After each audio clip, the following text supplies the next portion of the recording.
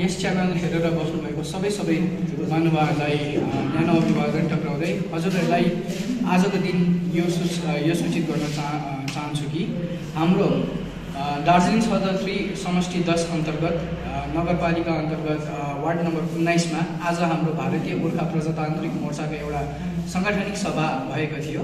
उक्त सभामा आज हामीले वार्ड नम्बर उन्नाइसको भारतीय गोर्खा प्रजातान्त्रिक मोर्चाको एउटा कमिटी एउटा समिति हामीले गठन गरे गर्नुमा हामी सक्षम बनेका छौँ र उक्त समितिका अध्यक्षको रूपमा हामीले श्रीमान राजेश गुप्तज्यूलाई चयन गरेका छौँ।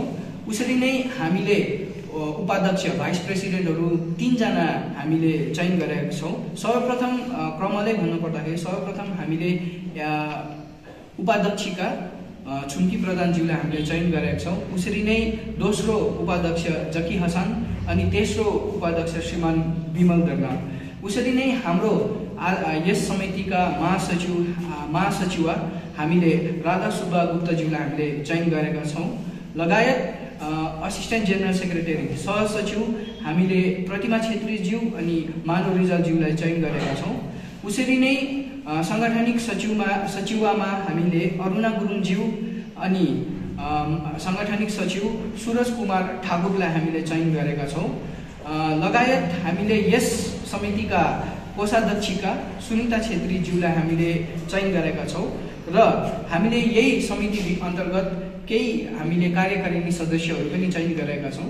कार्यकारिणी सदस्यमध्ये एक हुनुहुन्छ लक्ष्मण प्रसाद श्रीमान लक्ष्मण प्रसाद श्रीमान लाक्पा भुटिया श्रीमान पासङ दोर्जी भुटिया श्रीमान छुम्बे भुटिया श्रीमती अनुराधा देवी चौरसिया श्रीमान फुर्वा शेर्पा श्रीमती बसन्ती शर्मा अनि स्वयं म पनि है राब्गे राई पनि यस समितिमा हामीले एक्जिक्युटिभ मेम्बर भएर बसेका छौँ र वार्ड नम्बर उन्नाइसका सम्पूर्ण बासिन्दा जनसाधारणलाई हामी यो विश्वास दिलाउन चाहन्छु कि आउने दिनहरूमा यो कमिटीले यो समितिले तपाईँहरूको जति पनि दुःखहरू छ जति पनि पीडाहरू छ यो हामी तपाईँहरू समक्ष आएर तपाईँहरूको प्रब्लम्सहरू बुझेर हामी सल्भ गर्ने तर्फ पनि हामी लाग्नेछौँ।